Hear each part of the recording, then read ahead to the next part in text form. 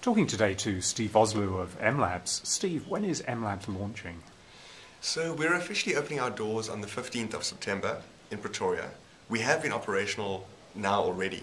Uh, we held our first event in Cape Town on Monday night, a workshop on how to monetize your mobile app or content, and we've sponsored a Mobile Monday in Johannesburg. But the official head office is opening doors yeah, next month. And for those who don't know what MLabs is, what, what, what have you been set up to do? So essentially, we're an incubator for mobile startups.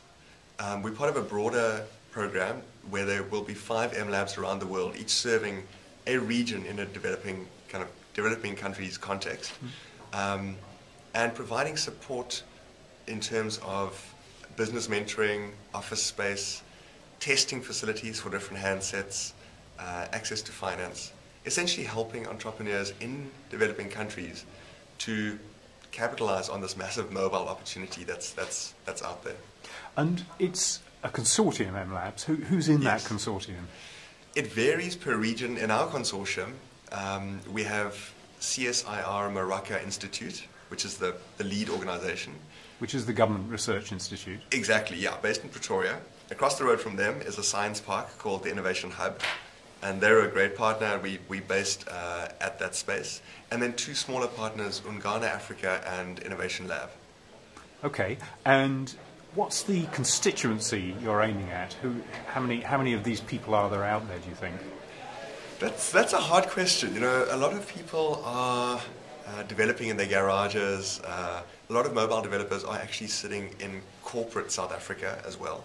So it's hard to kind of work out who this community is, and, and that's part of my role. I'm the mobile impact evangelist. Yeah. Um, is to try and galvanize this community and, and get them out.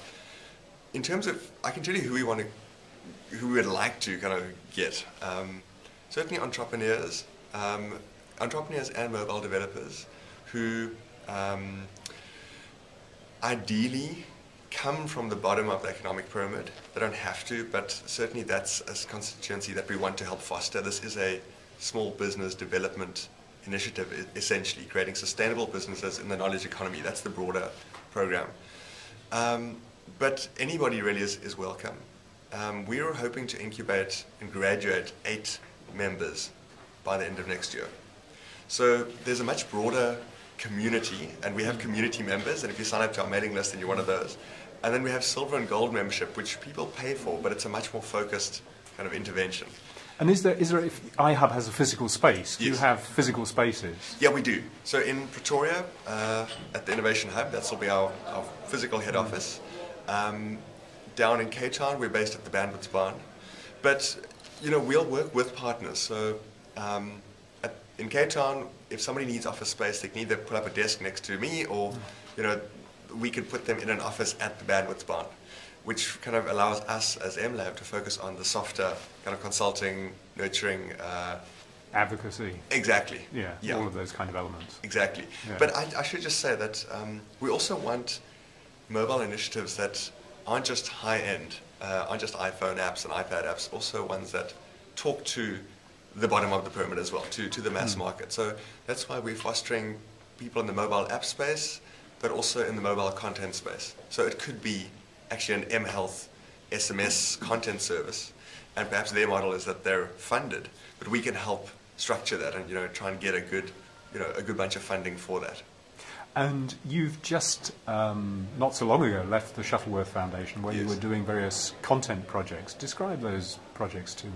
Sure. Um, so the main project that I led was called m4Lit or Mobiles for Literacy.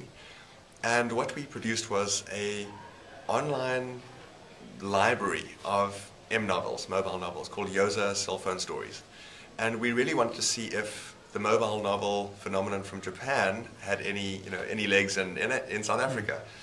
So I started this project and it had really good traction. It has had really good traction. Um, I did a, uh, a count this week. So in the last year on Yoza, we've had 300,000 reads of our M novels, we've got poems, we've even got some Shakespeare players. So it's been a really interesting um, pilot, which is now kind of you know matured, but to really try and understand what the youth in South Africa will consume on their phones. Mm. and for me, the big aha moment was that you know you can actually publish a 25-page Word document, Hmm. and somebody's going to read it on a Samsung E250, which is you know about that big. Absolutely. Which you and I would never do, but but people will do it if it's affordable enough and engaging enough, um, Yeah. and you know if that's all you have, then then that's where you're at. and how will you take Yoza forward?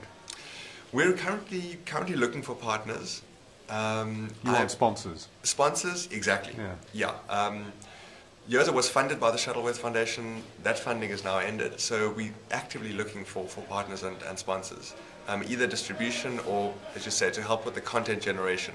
We've always kept the stories free to the end user, um, but obviously there is a cost attached to producing them. You were asking in the session here at Mobile Entertainment Africa um, what you might charge for a music track. Yeah. And there's, a, as you know, a big debate between charging and free. Um, what's, what's your take in terms of what works and, Yeah. and so on and so forth? Because there's a delicate balance between actually staying in business and Yeah. actually getting out there. Exactly. You know, one of the biggest challenges for Yoza is sustainability.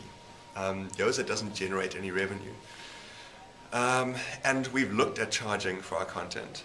Um, I personally think that obviously free is you know becoming more widely the kind of de facto, but I think that people will pay, and if something is affordable enough and uh, valuable enough, desirable enough. Hmm.